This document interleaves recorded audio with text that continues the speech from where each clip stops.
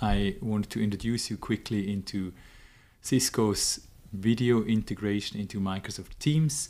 Um, I have a simulated Room 70 Dual here, which I can use to dial into my video meeting by just go to Reasons. You can see the Touch 10 at the bottom right. You can see the Microsoft Teams desktop, which is the host of the meeting at the bottom left.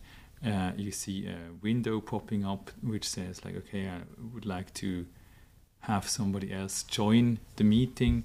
Then the person is joining the meeting. I make sure that I go on mute. I have the main speaker on the left hand side now of, on the screen and on the right hand side I have the remaining speakers in grid view. I can see on the top right of the Touch 10 who is all participating. I can see if they are muted or unmuted. I found quite a few cameras in my environment, so I yeah happy to have those uh, done. Then on the left hand side, again, speak on the right hand side, the uh, remaining participants.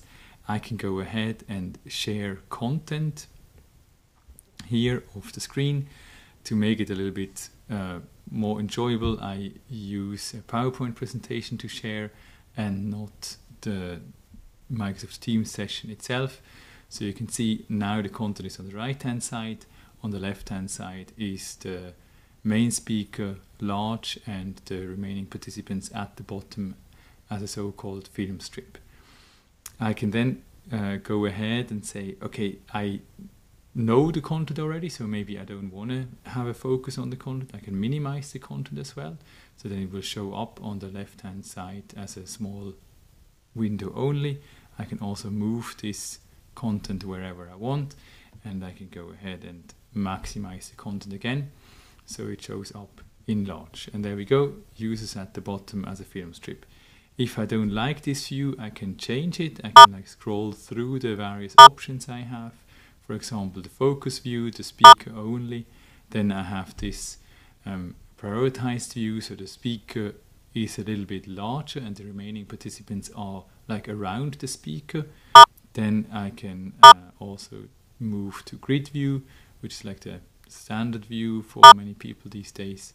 I have the speaker large in this view and the other participants at the bottom without the other participants eating into the main speaker view.